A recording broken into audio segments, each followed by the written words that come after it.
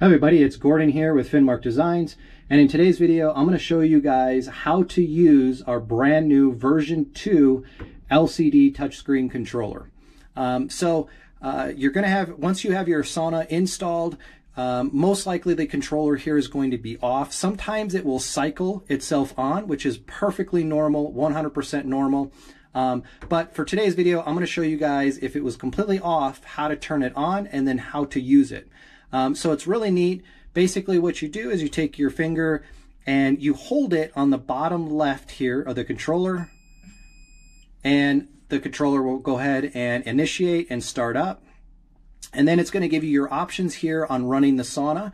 Um, again, Finnmark Designs, we focus on getting you as hot and making you sweat as profusely as possible in, in the shortest amount of time. So we're not going to make you go and log into a, bu a bunch of different, um, you know, logins, put your email back in, uh, like some of these companies do. Uh, we want you to sweat as fast as possible. So when, as soon as you get this sauna set up, you can literally go in, uh, go to your time and temperature here. You can set, adjust your temperature all the way up to 170, um, which again, we're one of the only sauna companies out there that can get an infrared sauna to 170.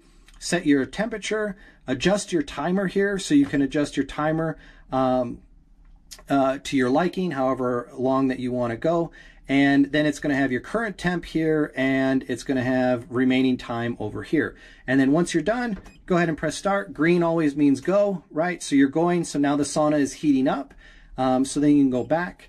Um, we changed a little bit here. So on the lighting, we actually, um, and this is from customer feedback, we uh, added all the different colors, the color therapy that you have in the saunas and all of our saunas. You can actually change now from the from the uh, actual controller itself. Um, before we used to have these controllers, and we do sometimes use these controllers.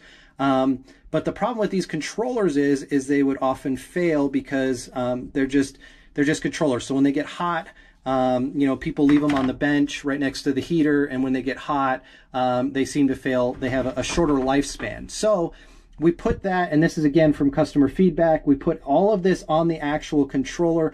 So even if your um, uh, controller failed, your side or your extra controller failed, um, you still have it on the on the controller, so you can still use your sauna. Um, so you can check, uh, you can go through all your different colors here.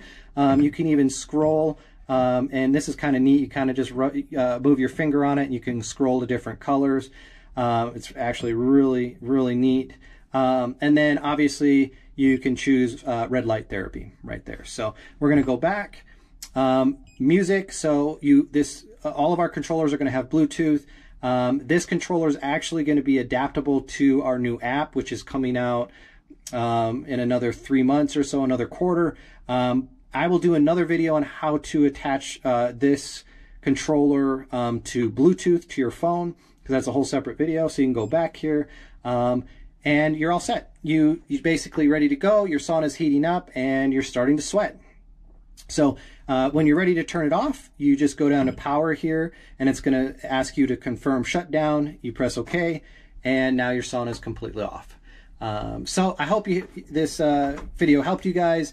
Um, and we got to show off our version 2 controller a little bit. If you guys have any questions whatsoever, feel free to give us a call, uh, shoot us a uh, email, or open up a support ticket. Again, this is Gordon with Finnmark Designs. Uh, you guys have a great day.